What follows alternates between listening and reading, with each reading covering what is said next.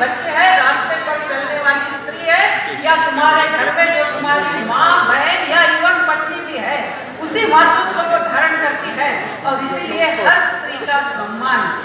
यह